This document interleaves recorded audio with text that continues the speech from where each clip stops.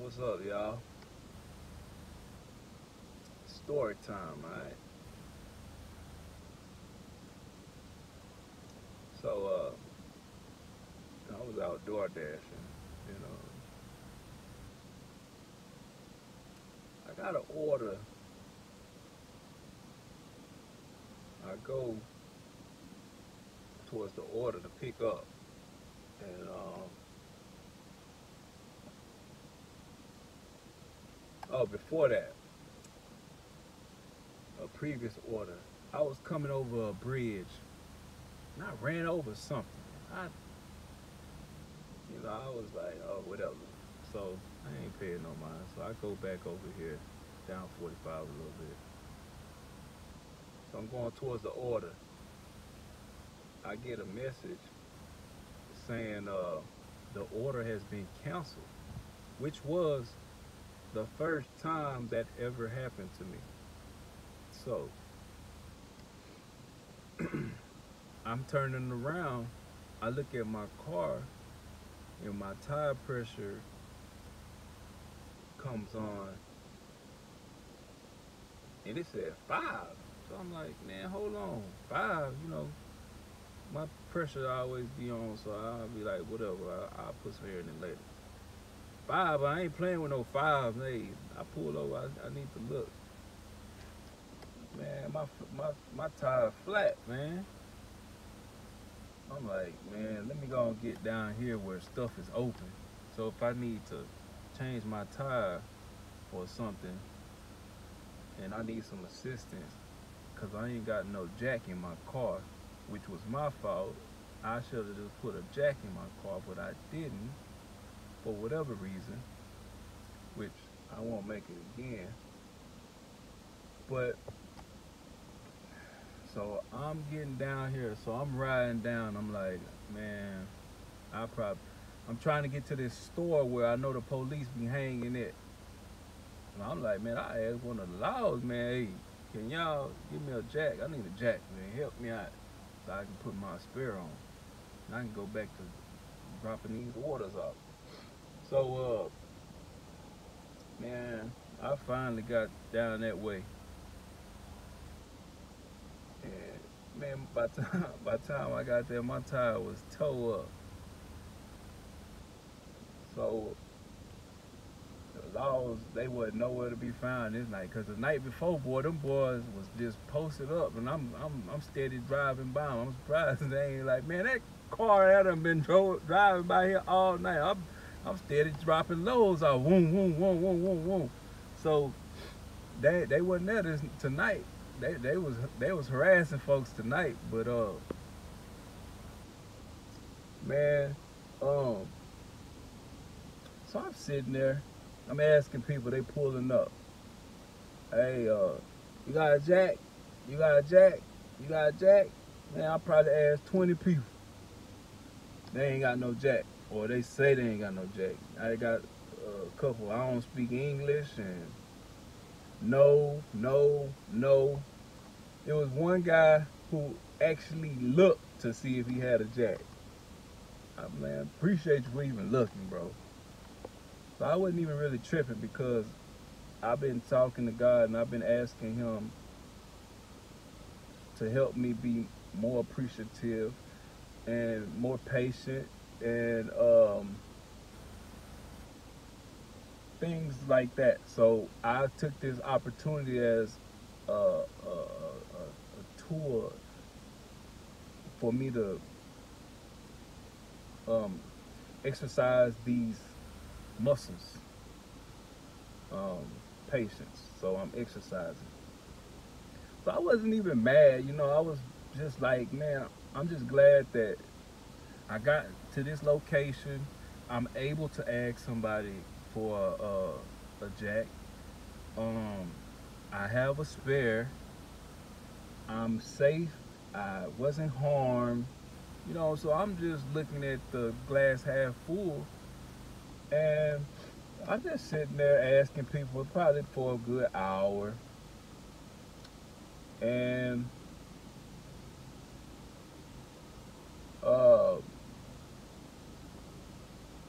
I walk to go. I, I see a trucker. I see a trucker dude over here about 45, and so I walk over there. I asked him. He like, man, I ain't got no four way. He said I could jack you up, but I ain't got no four way. So I'm like, all right, man, appreciate it. So some told me, man, call State Farm and see if you got um roadside assistance. So I called them. I, I said, yeah. They said, yeah, I got roadside assistance. I'm like, hmm. I wish I would have known that last time, but anyway. So while I'm talking to roadside assistance, they like, all right, well, we're gonna send them over. Um, this dude had parked next to me earlier. I seen his light off. I told him his light was out. But he had a, a SUV, so I wasn't asking him for a jack because you know SUV jacks are, are big and, and I got a small car so I knew his jack wouldn't have been able to get under there. But so what I thought. Okay, so man, I didn't got to the point where I I didn't got in my passenger side and kicked my foot up. I, I didn't I didn't uh kick my foot up. I'm, I'm over here reading my Bible a little bit and uh the dude that pulled up, he had pulled up to the gas pump and he was over there talking to somebody else. Um, he walked up and he was like, "Oh, bro, you need some help?" I was like, "Man, your jack too big for my car." He like, "Man, I'm gonna go drop my baby mama off and I'm gonna come right back." But I'm on the phone with um um roadside, so I'm I'm like, "You got a jack?" He like, yeah, I got a jack. Let me go drop my baby mama off about five minutes. I'm like, man, I'm like, man, whatever. I already know the game. So roadside said, so roadside said I'll be there about 30, 40 minutes. So, so my boy pulled back up. Five minutes later, man, let me tell you. First, I'm gonna tell you my prayers to God. I pray on a regular basis that I am a vessel. I'm used for the glory of God to send me people to minister to and to to send to Him. Let me be the the the, the candle that lights up the room or the city that's on top of the hill that's lighting up the whole area. Okay? So,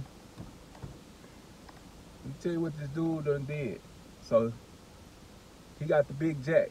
He can't get it under where the usually where people put the jack at. So he he over here. I'm over here looking at him like, man, I, have never seen nobody use a big jack and jack up a big uh, a small car. But he taught me. I said, boy, you taught me something today. So he got, he jack, he put the jack under the car, got a couple um, bricks, put it under the car, took the jack back, and then jacked the car back up some more in a different area so it can get higher. Got the tire off. Mind you, he doing all the work. So make a long story short, we chopping it up, we talking. Young, he 21 telling me about his life and stuff. So, uh, by the time he got the tire on, roadside assistant barely pulling up. Like, we got it, we good. So, I'm like, man, I tried to pay him. He didn't want to take the money. And it was just, it, it reminded me of, of what I do to people. You know, like when I do something, I don't, I don't want to be paid for it. That's not why I'm doing it. Don't, I don't want no money. So,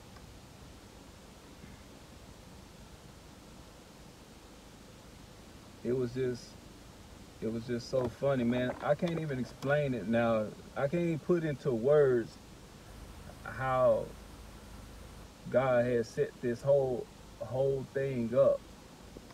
And he was like, man, I wasn't even gonna come to this store. and and um man and um but my baby mama wants to come to the store or whatever and um I just started talking to him about God and God is good man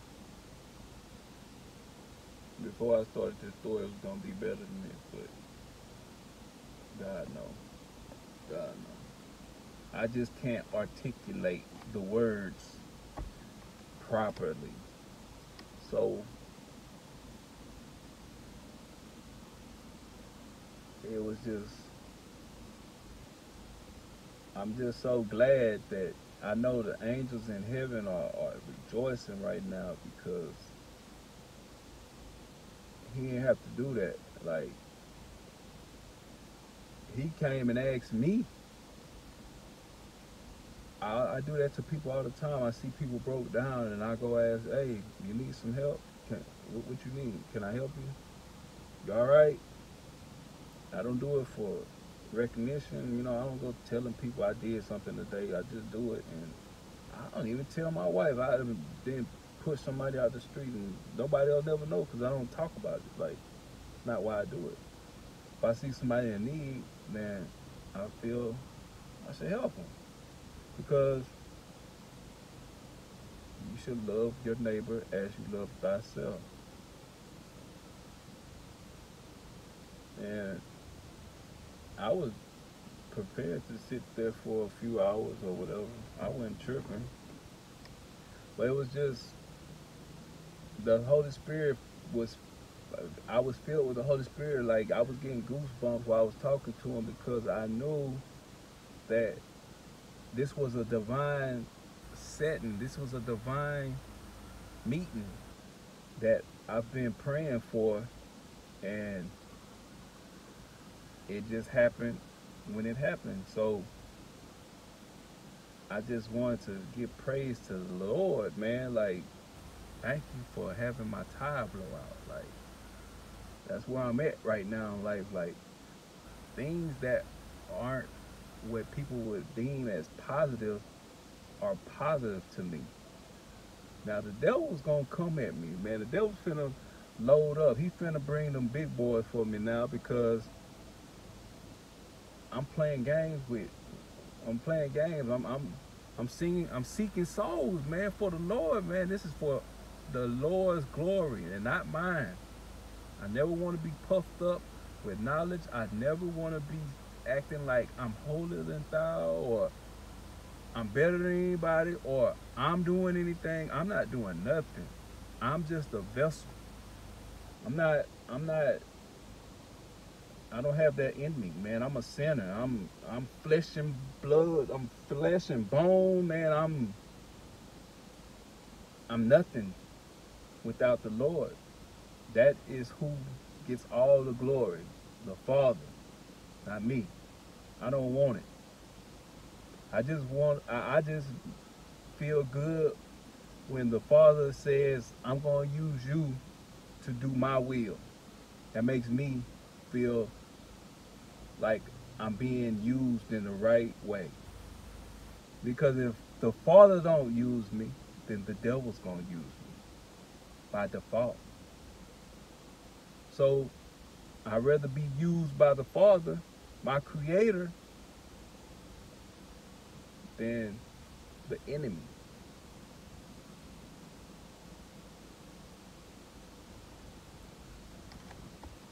God is good, man. Everything happens for a reason. And it's funny because he had that tattoo across his forearm. Because I told him everything happens for a reason. And he showed me his tattoo. Yeah, man. So, and I was thinking when I when my car had when I was sitting there and I was just like, I wasn't mad or I wasn't even annoyed or nothing. I was just like, man, I I sure want to hit my quota, but whatever, you know, it is what it is. I hit over my quota the last two days, so this will make up I mean, I, I'm good anyway. Even if I wasn't good, I'd still be good. It was just, it was just cool, man. It's just cool. I like to talk about God, man. I talk about so much other stuff in my life that had no meaning and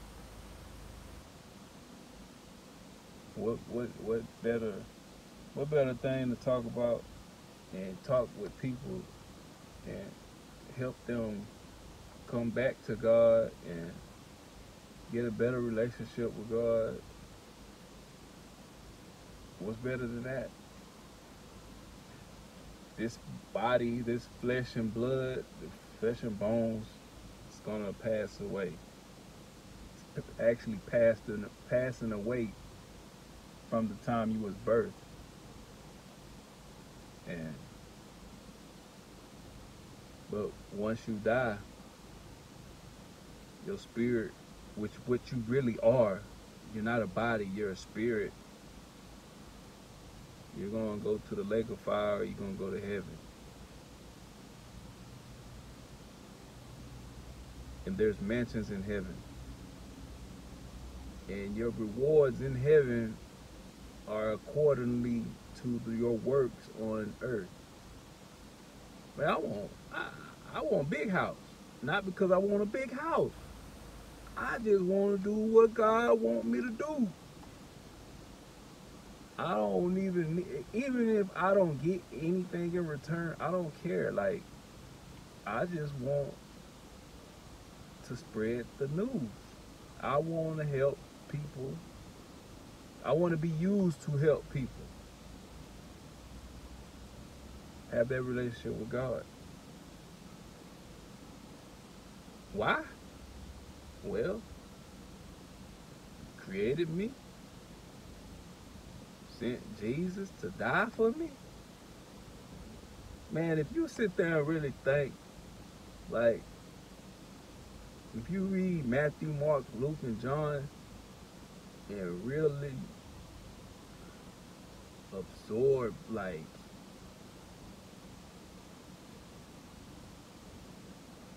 Jesus was so much of love. And he died for me, for, for all my flaws and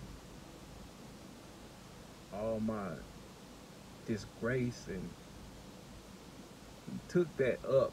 He took that, he said, here, give me this trash out of you and let me take it, absorb it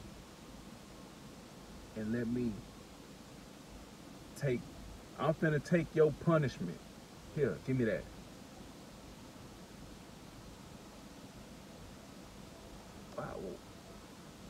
So, I don't even know why myself, like, how could I live a life the way that I live my life in younger years or, or, or uh, past tense?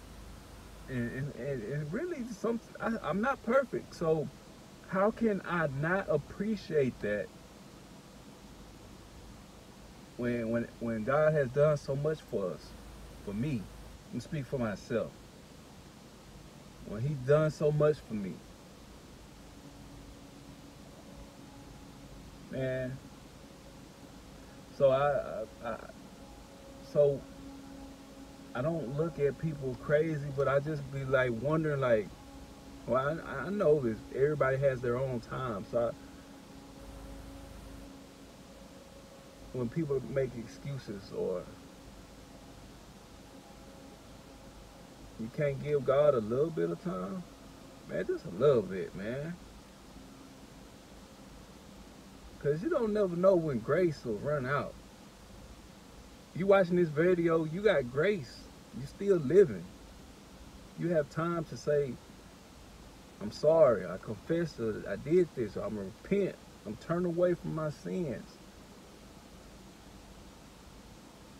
Because they they're they're I don't know. I don't know it all. I'm not gonna sit here and say I know it all. Some people believe once saved, always saved. Some people believe you can lose your salvation. Honestly, I don't know. But I tell you one thing, I don't want to find out the hard way either. So I'm at the point in my life where I'm like, man, I'm trying to make sure if if if it ain't once saved, always say that I'm got myself in check. I got myself right. So I, am trying to do good. I'm trying to do right. Hey, God, Jesus say go preach the gospel. I'm preaching the gospel. Hey, y'all can look at me and laugh at me. I don't care. I'll be around here jamming Christian music. And I'm not even calling myself a Christian. I just follow Jesus. I'm not with the religion. I'm not with the all the no, that's yeah, that's for everybody else. I'm not with that. I'm with my personal relationship. Churches, I don't have to go to a church. That's a building that people say is church. No, church is the people. Where two or three is gathered, I am in the midst. That's what Jesus said. So we was having church in the parking lot while I changed the tire. I like having church. You want to have a you want to interest me in a conversation? Talk to me about God and church and, and Scripture. What what most people would call boring. I'm fascinated with it. oh, it's so funny how life has turned for me, like changed. You would have never thought I would be where I'm at right now. Not even five five years ago. I was a truck driver listening to self-help books and uh, motivational talking and um, other stuff. I listened to a lot of good stuff, but it wasn't the gospel. It wasn't going to save my life. It wasn't righteous because it's either right or wrong. See, a lot of people want to say, well, this isn't hurting. It's, it's not hurting nobody. It's not wrong. But is it right? Is it righteous in God's eye?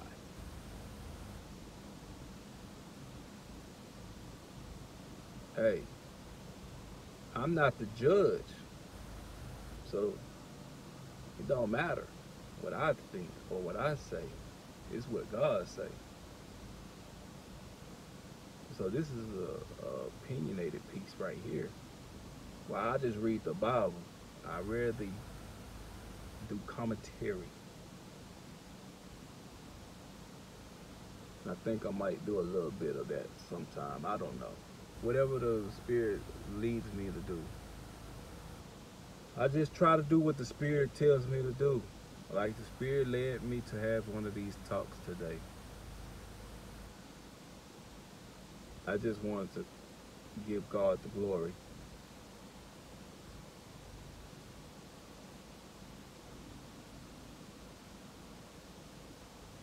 God is good.